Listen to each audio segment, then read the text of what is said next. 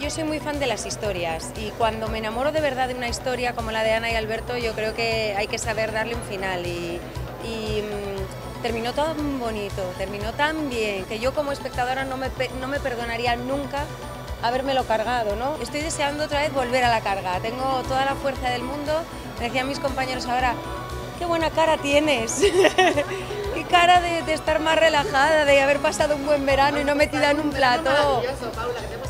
He pasado muy buen verano, o sea que sí, sí, estoy relajada y estoy con las pilas a tope para empezar otra vez el, el curso y, y con muchísima gana. Sí, ¿verdad? Antes, comparándonos Marta y yo, digo yo, tú tienes moreno velvet, yo no.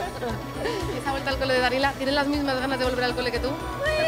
Ahí anda, ahí anda, un poquito menos, pero no le va mal, no le va mal. ¿No te gusta Dani estas cosas Sí, no, pero eh, la verdad es que esto no es nada donde yo no pueda estar con ella, o sea, estamos a ratos sí, a ratos no, estamos pasándolo muy bien, muy bien.